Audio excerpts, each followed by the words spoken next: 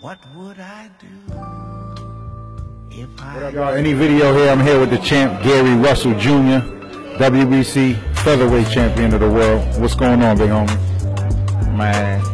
We putting in the last couple of hours of extremely hard training camp. Um, we always grind. I'm one of them fighters that goes into a fight, but don't go into a fight questioning, wondering if I could have pushed harder in the gym. Did I cut corners? I'm grinding all the way through. We ready, man. Yeah, I feel you, I feel you. I've seen some of the stuff you've been doing with Coach Calvin. How has that helped you out? It definitely played a big uh, a big part. You know, everything that we do um, is beneficial to us. You know, I appreciate everything that he's done. You know, and vice versa. So it's definitely been a, a contributor, attribute to, to our game. What does it feel like to have your younger brother, you know, fight on the undercard right before you fight, though? What's that experience going to be like? Man, that's sweet. Yeah, I'm gonna be working this corner. yeah. I'm working this corner and everything before my fight. Like we all the way real. We not fabricated. You know, ain't nothing watered down when it come to us.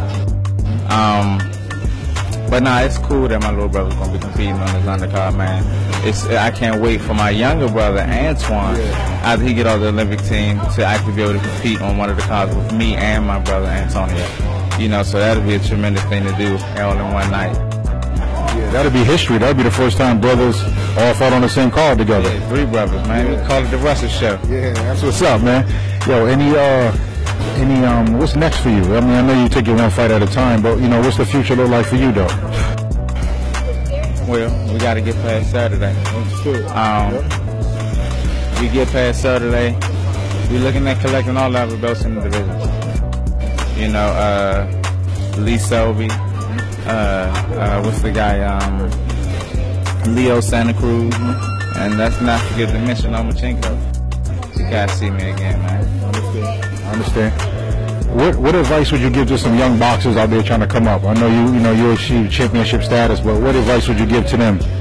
Since we're here at the Hartford Boxing Club. Don't cut corners. Yeah.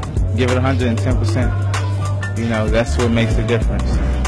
Don't wait for your coach to tell you to go and do something. If it's something that you're really driven to do, your parents don't got to tell you to go outside and go play.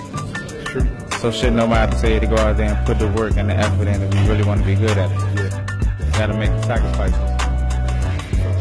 There you go, man. The champ, Gary Russell Jr. fighting at Foxwoods this weekend. Shout out to my man, Coach Calvin, Hartford Boxing Club. It's going down. Check it out. It's going to be on TV. Gary Russell Jr., the champ, right here, Hartford, coming to you live.